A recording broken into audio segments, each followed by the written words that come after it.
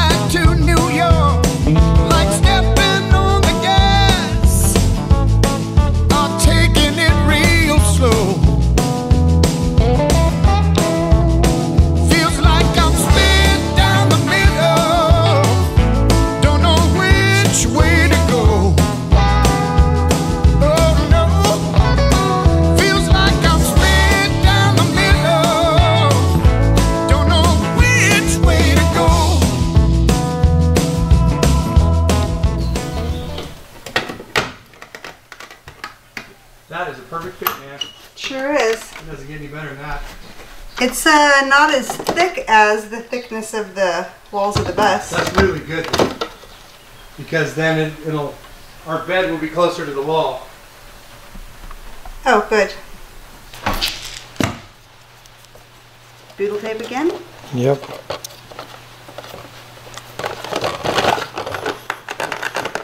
It's like the sixth element. No one actually knows how butyl tape is made. Here we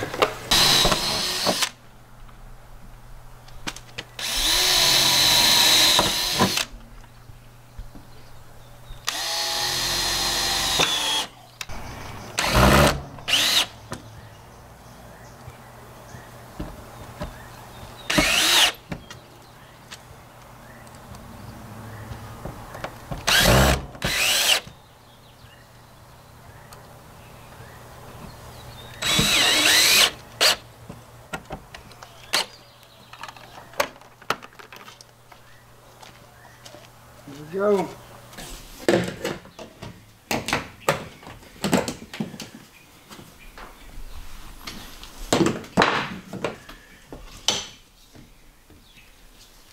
I don't know if I can cut this. Maybe.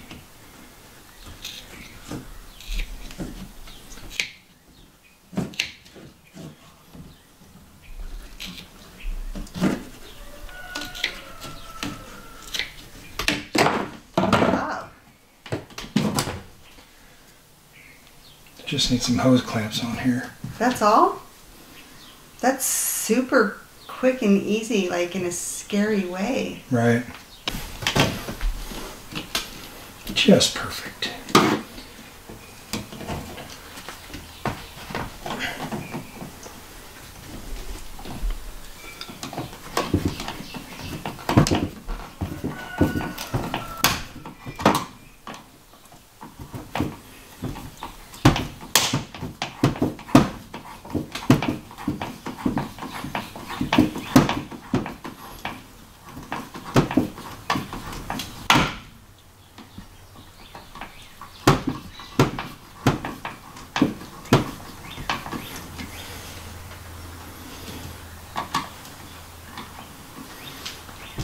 By their nature, these want to leak because there's a channel on the inside that spirals. I was wondering about that same thing. So How that's why I'm smashing down? it so hard so that Oh. it probably won't. Hopefully won't. Is this what everybody else uses in their RV? I don't know. I haven't been able to find a whole lot of information. It just seemed like a good idea. Yeah. Guess we'll find out.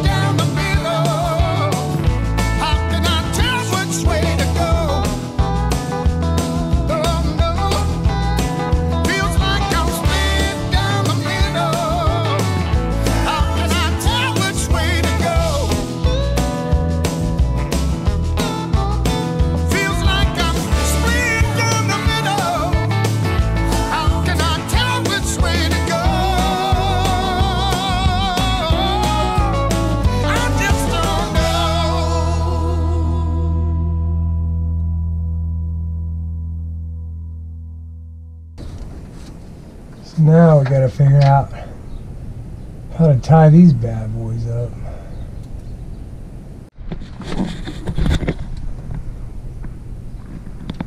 Got it all strapped in here. I used some of the old rubber hose from the uh, um, the original heater to run it over the top or to strap it up there but not put any pressure on the uh, new pipe there so I think it looks good. It is blazing hot outside right now because we're in Arizona. And we finished the plumbing inside for the most part. There's a there's obviously going to be a couple extra things as the, the build progresses to that point. But I wanted to address something that was really interesting to me. And uh, that's the the um, the monitoring system in the bus. So I've never really been satisfied with the monitoring system that has been in the uh, in motorhomes in general. They have that little panel you come up and you push a button and it shows you four lights for how much your freshwater tank and your black water tank and your gray water tank and you know that that that technology's been around for about a jillion years. And I really wanted to upgrade that so being the nerd that I am, I've just taken it to a whole new level. And I'm sure some of the modern super duper RVs that you can buy get that, but what fun is that? I want to make it. So um, what I did is I created what I, what I call the control freak uh, system. And uh, basically um, this one panel will monitor all my batteries, all the solar, all the water tanks, uh, how much current I'm drawing, um, and as well as control a couple of the things that I really wanted to have in this, and that is one, I wanted to be able to elevate our solar panels to uh, the, the angle of the sun where we're at. So I want it to be smart enough to know that if I'm in Alaska in the winter, it's going to have to elevate a lot. And if I'm in, you know, uh, Panama in the summertime, you know, it's going to be pretty flat. So uh, knowing that, using some uh, uh, a little astronomical math and, and a GPS, you can figure out all that information. And then all you have to do is elevate the panel to that height. So that's what I figured out up to this point. I've created the panel and I've created the um, uh, the interface that I'll be using to do this. We're also going to have a mast on the uh, bus that elevates and it'll be down by the solar panels behind them that will elevate up and that will have a, a solar and, or a cellular antenna on top um, so we can uh, boost our signal. So we can have signal more much more remote, places.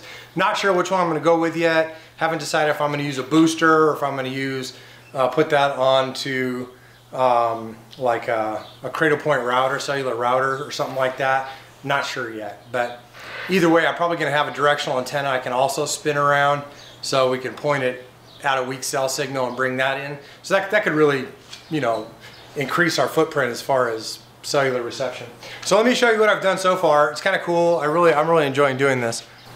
First of all, what we have here is the, probably the world's first solar powered radio flyer wagon.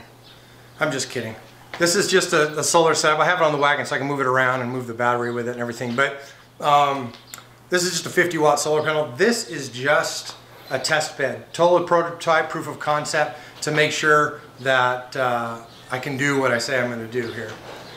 This is the control hub. This is the panel that you're going to see. Right now all those dials are just moving up and down randomly. They're not attached to anything because I don't have those sensors yet. Um, but I have ideas for everything on this. So I kind of made it look all steampunky with a brass background and all that stuff. But uh, the reality is, is that uh, this will tell me everything. All the little like dots these color light, those are would signify like something's going on. So if I'm drawing more than 20 amps right now, this thing turns red. If it was over here at 30, you see this one just turned yellow, back red again. So it just, they change color. Green is good, yellow is hey, and red is, oh my God, you know, pay attention, okay?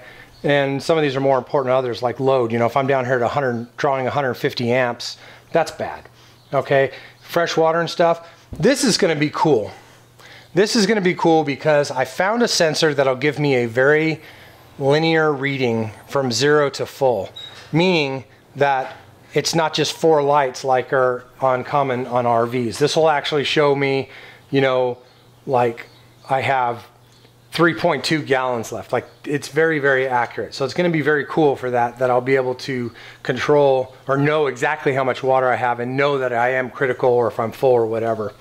Okay, same with the gray water. I'm using the same sensor in both. It's pretty cool. All right, so what we can do here, uh, let me show you what we can do.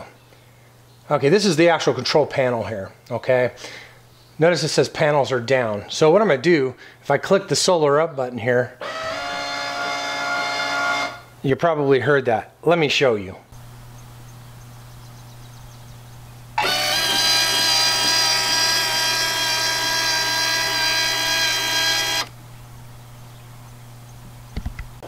So this will then tell me if the panels are up or down or not and what elevation they're set at. Um, it should be 81.5. I can't get the accuracy under about a, I can get it around one degree accuracy. If I'm within one degree, that's, that's perfectly good. I have no complaints about that. So um, the same will happen when we get the antenna uh, mast up and down. It'll go up and down and tell me whether it's up or down. Um, the solar panels will lock in the down position eventually. I haven't got to that point yet. But I just wanted to give you guys a little heads up what I'm doing behind the scenes sometimes when I'm not physically working on the bus, but building some other stuff. So stay tuned. There's some really cool stuff going to be on this bus, and, and if you stay tuned, you guys are going to catch it. So thanks for watching today, guys, and we'll uh, we'll see you guys again next time.